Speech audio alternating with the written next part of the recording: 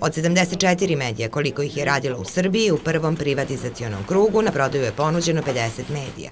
Od toga 22 privatizacije bile su uspešne. U drugom krugu našlo se 27 medija. U Agenciji za privatizaciju najavljuju i treći krug. Broj medija za koje je postupak privatizacije proglašen neuspešnim u drugom krugu je za sada 8. Broj postupaka u toku je 9.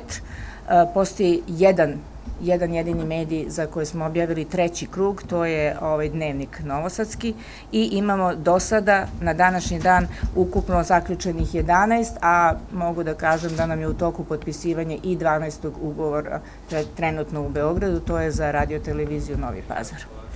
U Ministarstvu kulture i informisanja kažu da su zadovoljni što će pojedini mediji dobiti treću šansu za spas od stečaja. Postoji, međutim, nešto što ih brine. A to je e,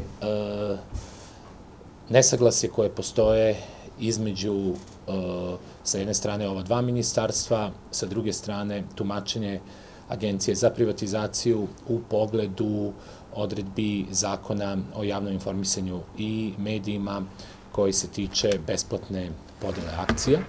Naime, nesporno je i zaista za nas neobjašnjivo da postoji apsolutno bilo kakva dilema oko toga da se raspodeljuje 100% 100% kapital koji je pre toga bio ponuđen na prodaju. Panel diskusiju organizovala je u Niško medija centru Asocijacija medija.